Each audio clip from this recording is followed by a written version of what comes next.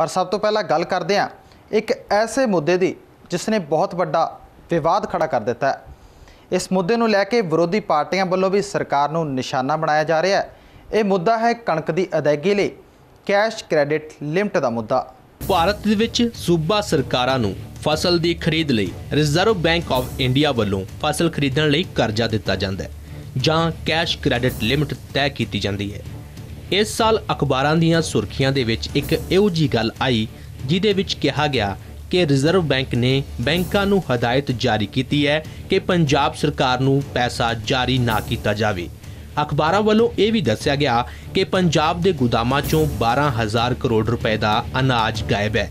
ਵਿਰੋਧੀ ਧਿਰਾਂ ਵੱਲੋਂ ਇਸ ਮੁੱਦੇ ਨੂੰ ਲੈ ਕੇ ਸਰਕਾਰ ਨੂੰ ਘੇਰਿਆ ਗਿਆ। ਕਿਸਾਨ ਇੱਕ ਤਰੀਕ ਦਾ ਮੰਡੀ 'ਚ ਬੈਠਾ ਹੈ।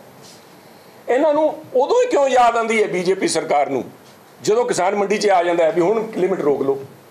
Why can not this reconciliation of these accounts have been done ਜਦੋਂ ਪਿਛਲੀ ਵਾਰੀ ਪੈਡੀ ਦਾ ਰੌਲਾ ਪਿਆ ਸੀਗਾ 6 ਮਹੀਨੇ ਹੋ ਗਏ। ਉਸ ਦਿਨ ਆਦੇਸ਼ ਪ੍ਰਤਾਪ ਕੈਰੋਂ ਜੀ ਜਾ ਕੇ ਉੱਥੇ ਕਹਿੰਦੇ ਜੀ ਸਾਡੇ ਕਿ ਏਬਲ ਫੂਡ ਮਿਨਿਸਟਰ ਸਾਹਿਬ ਉੱਥੇ ਬੈਠੇ, ਉਹਨਾਂ ਨੇ ਮਨਾ ਲਿਆ ਹੀ ਸੱਚ a competent man after this paddy purchase October ਦੇ ਬਾਅਦ ਹੁਣ ਮਾਰਚ, ਅਪ੍ਰੈਲ ਆ ਗਿਆ। ਇੰਨੇ ਦਿਨ ਕਰ ਕੀ ਰਹੇ ਸੀਗੇ? ਕਿ 12000 ਕਰੋੜ ਰੁਪਏ ਇਹਨਾਂ ਨੇ ਮਿਸਯੂਜ਼ ਕੀਤਾ ਵਾ।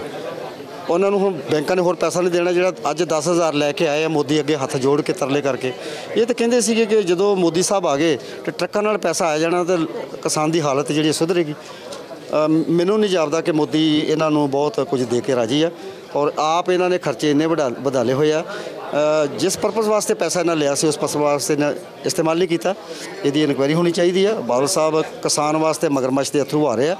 ਕਿਸਾਨ ਦਾ ਜਦੋਂ ਜਦੋਂ ਵੀ ਨੁਕਸਾਨ ਉਦੋਂ ਹੀ ਹੋਇਆ ਵਾ ਜਦੋਂ ਜਦੋਂ ਬਾਦਲ ਦੀ ਸਰਕਾਰ ਆਈ ਹੈ ਤਾਂ ਉੱਥੇ ਹੀ ਉਪ ਮੁੱਖ ਮੰਤਰੀ ਸੁਖਬੀਰ ਸਿੰਘ ਬਾਦਲ ਨੇ ਇਹਨਾਂ ਖਬਰਾਂ ਨੂੰ ਸਿਰੇ ਤੋਂ ਹੀ ਨਕਾਰ ਦਿੱਤਾ कौन से ये ਸਰ ਅੱਜ ਇਕਨੋਮਿਕਸ ਨੇ ਖਬਰ इकोनॉमिक्स टाइम झूठ बोलता है इसका मतलब नहीं है सारे आप भी झूठ बोलने लग जाओ